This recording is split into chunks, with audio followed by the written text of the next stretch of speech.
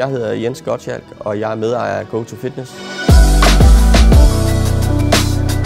Vi har lavet et samarbejde med Elis i forhold til øh, modder, mobber og klude. Vores udfordringer det var, at vi fyldte meget hurtigt vores skraldespand op med papir, når vi aftørrede vores maskiner. Efter vores kludesystem kan vi se, at vi faktisk i centret at det er blevet pænere, og øh, hvor vi ikke har de her små snuller, som er fra fra værkstedsrullerne, og det har vi ikke mere. Vi har faktisk også fundet ud af, at vi har sparet på øh, affald. Det er formindsket til én container nu, øh, til kun tømning en gang om ugen.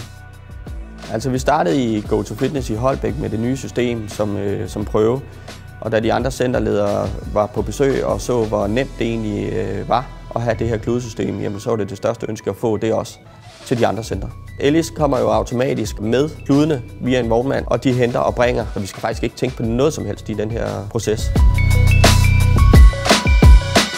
Altså i forhold til øh, markedsføring på de her klude, der lige pludselig skulle være i vores center, og man ikke øh, havde de her værkstedsruller, der har Ellis været sindssygt gode til at komme med plakater, hvis vi skulle have det, eller øh, A4-ark, vi kunne sætte op i folder, så folk faktisk kunne læse om, hvad er det her for noget, og hvorfor er det egentlig bedre, og hvad kan kluden egentlig i forhold til papir.